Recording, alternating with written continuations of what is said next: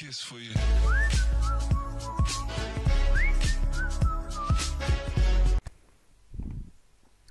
Bismillahirrahmanirrahim. Welcome to my another video on android app development. And so guys in this video i am going to show you a demo of my new android project application which i have created uh, student bus tracker. Okay? With this app the parents will be able to track their location of their children okay? And so let me first of all show you a demo. So let's try to open our app okay? So let's first of all there uh, you can see that the, we have two options register as driver and register as user alright so drivers will be able to register. So first of all let's click on register driver. And let me first of all show you my uh, firebase console. Let's delete all the values.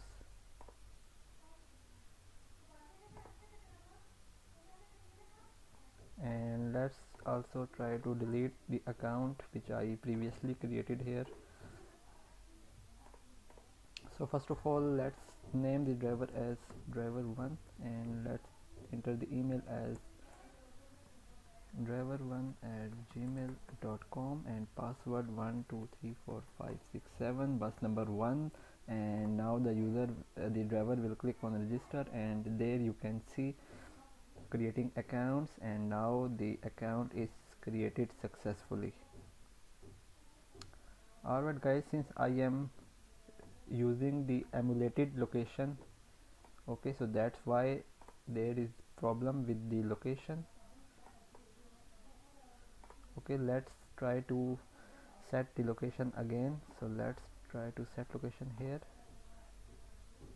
And let's open our application again. And there you can see that our application is now running. Okay so now that is the user location and this is the driver okay? And let's try to uh, so now you can see in our firebase that there is a user one and in our database part you can see we have this okay? All right.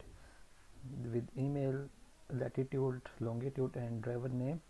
So let's if the user tries to share his location so you can see that the, the driver presses the share location button and the location is changed here okay and it will be continuously updated to this here okay. So now let's try to stop the location and let's uh, sign out okay and now let's create another driver. So now click here again and let's try here driver 2 driver 2 at gmail.com 1 2 3 4 5 6 7 bus number 2 and click on register. So here you go so you can see that now there are two uh, drivers here. Okay here you can see. So now this driver also tries to share his location so he can say share location. So now you can see that the location is now changed and both drivers are in the same location. So now stop the location and let's try to sign out. Okay so now we have these two users. So now we need to register as a student. So now let's click here and now you can say here student one email as student1 at gmail.com and password as 12345667 okay and you need to click on register so here you can see that the user is successfully registered here in our users node. Okay. So here you see uh, email name and password. Alright.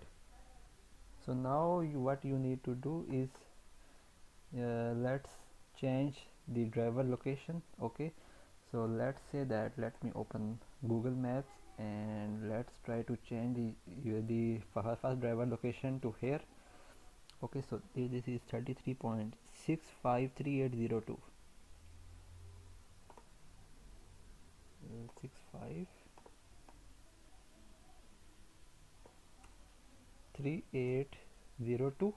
and where is my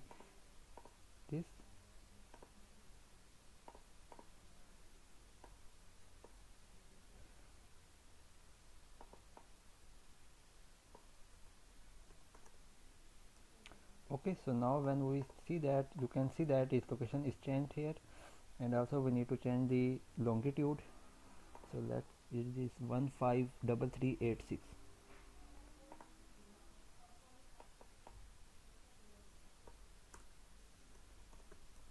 okay so now let if I show you so you can see that the driver location is now pointing towards this. Okay and let's also change the second driver location to somewhere around here. Okay? So now you can say what's here? 656608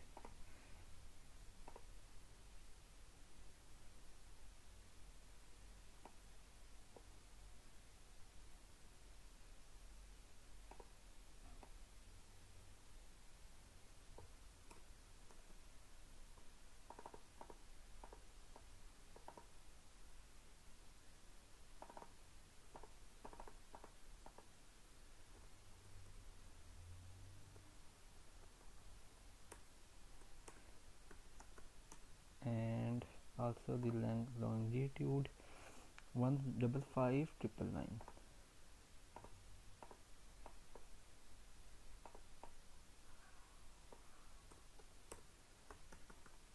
Alright guys so if I show you so here you can see that we have these two drivers here. Okay so if I click on that driver so you can see that it is 0.53 kilometer far and 2 minutes away. Okay and this is the uh, direction of that user.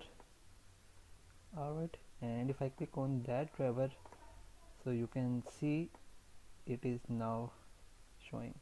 Alright guys so that is it. If you like the video please like share and subscribe and download the app. Okay I will upload the link in the description. So goodbye